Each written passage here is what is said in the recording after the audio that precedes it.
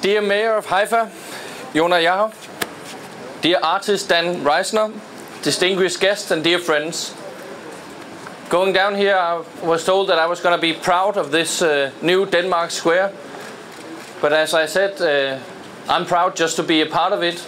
My parents were born during the war, but my generation itself hasn't experienced what we are commemorating today. So it is indeed a great honor for me to be here and it's a pleasure to be part of this event with the inauguration of the Denmark Square here in Haifa.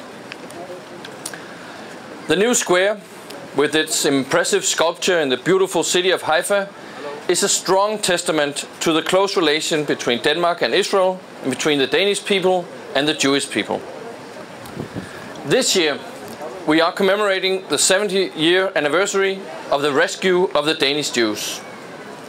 In a matter of a few days in early October 1943, more than 7,000 Jews in Denmark were illegally sailed to safe haven in Sweden.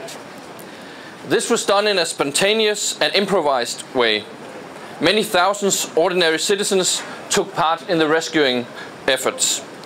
They conveyed warnings and organized places to hide, and they helped in organizing food and transportation to the coast and further on by boat to Sweden.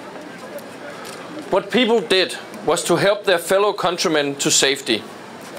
They gave a hand to their neighbors, their friends and their colleagues, men, women and children. Most of the Jews living in Denmark were saved, but close to 500 were arrested by the German occupying force and deported mainly to Theresienstadt. The sculpture revealed today symbolizes the remarkable rescue and voyage at sea. The sculpture, The Murmur of the Seas, whispers that we should not forget the past.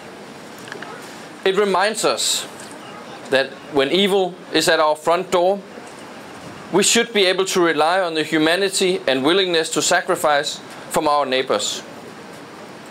In a period of world history with so much suffering, agony, and loss, we should all remember the few lights that were shining amidst all the darkness. Today, Denmark and Sweden is connected by a bridge, and the Öresund region aspires to be world leading in life science under the name Medicon Valley. But it wasn't always so. During the course of history, few countries have entered into warfare with each other as many times as Denmark and Sweden. The fact that the last time was more uh, about 200 years ago, and the fact that exactly the waters of Öresund between Denmark and Sweden became the bridge to a safe haven for the Danish Jews during World War II, assisted by their neighbors. And the fact that today Scandinavia and the Scandinavian welfare society model shows that social security and competitiveness can go hand in hand.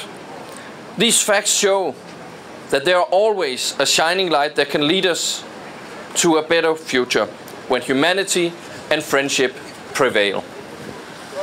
This afternoon I had the pleasure of visiting Technion, one of the finest higher education institutions in Israel and the world.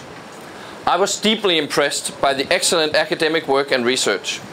And as a Minister for Science, Innovation and Higher Education, it pleases me that also in this field Israel and Denmark are working together because Denmark and Israel are in close cooperation in areas such as life science and green technologies.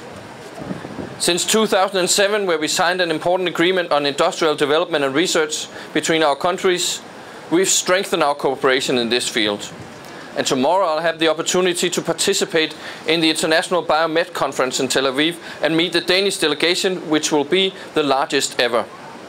I'll also have the chance during my visit to see some of the cutting edge companies that Israel are so famous for.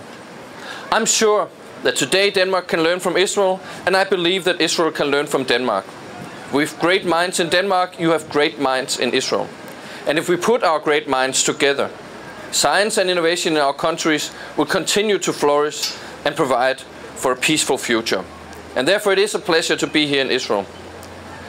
Just before landing at Ben Gurion earlier today, I enjoyed the view to the Mediterranean. It's a spectacular view as it is here today.